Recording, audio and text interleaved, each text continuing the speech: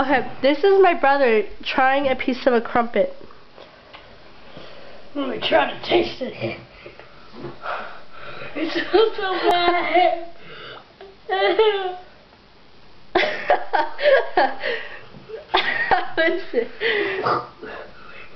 Just chew it and swallow it. Chew it and swallow it. Swallow it. You have to swallow it. That's part of the deal.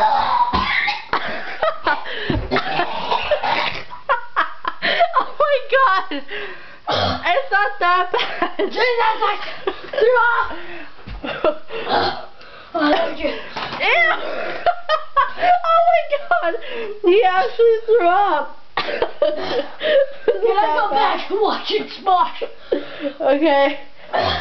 Thanks a lot. That was my brother eating a crumpet. I'm gonna hit you with a plunger! Ew!